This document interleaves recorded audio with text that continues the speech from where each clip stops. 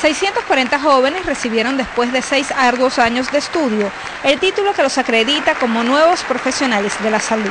El presidente Hugo Chávez exhortó a los integrantes de esta promoción, que fue bautizada con el nombre del ilustre José Gregorio Hernández, a ser médicos para lo humano y para la vida, ayudando a quienes más lo necesitan a través de las misiones. Nosotros estamos ahora mismo construyendo, esta es la misión Barrio Adentro 4 en la primera fase, y esto lleva un avance cercano al 40%, la construcción de seis nuevos hospitales que van a ser además hospitales escuela.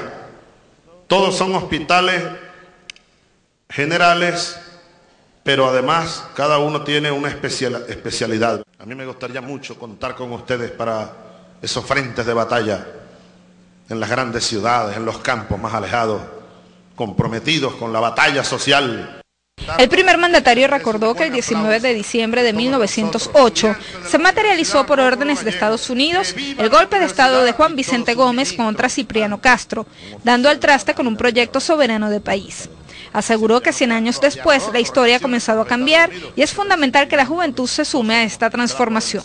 Solo pido que dediquemos toda nuestra energía espiritual, intelectual, vital, para lograr la masa unitaria de voluntades, suprema unión nacional, para que ahora hagamos realidad el reino que Jesús anunció, el reino de la paz, el reino del amor, el reino de la igualdad y de la libertad, para que hagamos realidad la patria que Bolívar luchó. Los graduandos se comprometieron a romper paradigmas en la medicina.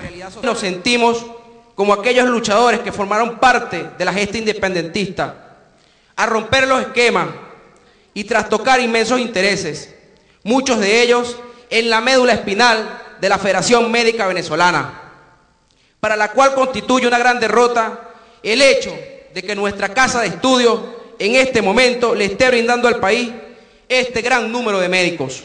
El presidente Chávez le garantizó a este grupo de nuevos médicos las condiciones necesarias para la realización de posgrados, así como la dotación de computadoras y vehículos. Ana Gabriela López, La Noticia.